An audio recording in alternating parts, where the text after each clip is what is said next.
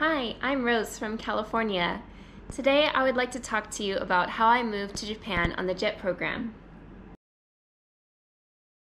For those of you who don't know, the Japan Exchange and Teaching Program, JET program for short, is a Japanese government run program that brings foreigners to Japan to work at local government offices or schools.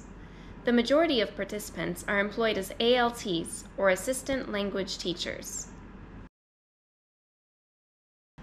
I applied at the start of my last year in college in fall of 2012 for the August 2013 term. As I recall, it was a somewhat long and complicated process with lots of paperwork and lots of waiting. In January, I found out I got the interview. At the time, I was living in rural New York State, up near the Canadian border. The closest interview location was in Boston, which was a six hour drive from where I lived. I decided to go there a day early by car and I stayed in a hotel. And it was a good thing I went a day early because on my way there, my car broke down. Just as I entered Boston, my car stopped in the middle of the road and I had to get out of my car and try to push it Luckily, a car full of young people stopped to help me push my car to safety. They also helped me to call a mechanic and tow my car. Thanks to the kind citizens of Boston, I was able to make it to my hotel. The next morning, I had my interview and I walked from my hotel. I can remember it was very, very cold, uh, February in Boston. There was still snow on the ground. And I was wearing a suit with a skirt and heels, and I felt really ridiculous because it was so cold outside and I was not used to wearing formal clothes like that.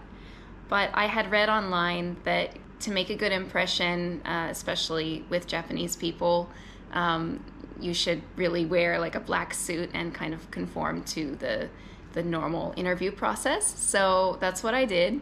I remember in the waiting room I was so nervous for the interview, but I just kept reminding myself to smile in the interview and to just calm down. So I was breathing, doing some deep breathing. The only thing I can really remember clearly about the interview, it was quite a while ago, is that they did test my level of Japanese, probably because I had written in my application that I spoke Japanese. So they gave me some passages in Japanese to read. Um, of course, they were pretty simple. It was like, I think it was all hiragana, or maybe it had furigana over the kanji. But reading was not, and still isn't really, my strong suit.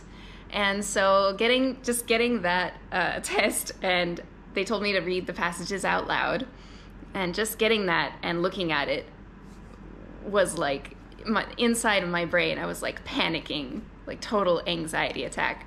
But I just kept smiling and tried to not show my anxiety on the outside and uh, just powered through it. And I was able to read um, with some difficulty, but I was focusing so hard on saying each character that was written down that I I forgot to really focus on what it was that I was reading. And so after I finished, I was like, oh, okay, I, I did it. Whew. I read. Uh, I did it. But then um, they started asking me questions about what I read. And I just blinked. I froze. And those few seconds where I was just like, oh my God, felt like the longest few seconds of my entire life. Um, but somehow I was able to kind of recall what I had just read, and I was able to answer the questions, um, not perfectly, but uh, I was able to kind of get through it. And um, apparently, they they were impressed enough because I did get the job. After the interview, I felt sort of this feeling of like regret that I I hadn't answered everything perfectly, and I was worried that maybe um, they thought that I had like stretched the truth on my application about being able to speak Japanese. Um, I felt like I hadn't been able to speak as well as I expected myself to be able to. Um, so I felt really uh, kind of frustrated with myself after the interview. I had to wait another month or two before I could get the results to my interview. Um, but luckily, when I got the results, uh, they were good. I was accepted into the JET program. I was so relieved and so happy to get the news um, because it had been my dream to go to Japan since I was in junior high school. And um, yeah, I first found out about the JET program when I was in high school, and it had been kind of my plan to get into the JET program for many years. And so, feeling that feeling when I got accepted was just unreal. My dream of going to Japan was finally going to come true. After that, there was some more paperwork and about another two months of waiting. In early summer, I received my placement information. I would be going to a small town in Oita Prefecture in Kyushu, which is the southern island of Japan. To be honest, before I got the placement, I didn't know where Oita was. But I was just happy to be able to go to Japan, and honestly, I think I would have been happy no matter what my placement was. As it turned out, I loved Oita. It was a really great place to live, and I have so many wonderful memories of living there. In August, I departed from San Francisco Airport. I came to Tokyo and had an orientation in Tokyo for about three days before heading to my placement in Oita. And that's how I came to Japan on the JET program. It's been nine years since I came to Japan, and I stayed on the JET program for three years.